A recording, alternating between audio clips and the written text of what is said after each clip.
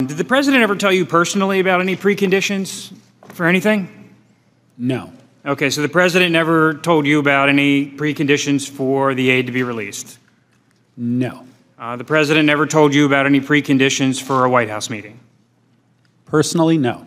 The, uh, you said you didn't have your records or your documents from the State Department, but if you did, there wouldn't be any document or record that ties President Trump personally to any of this, correct? Boy, I don't want to speculate what would be You know, on- your documents or records. I don't recall anything like that. Okay. no. Good heavens, okay.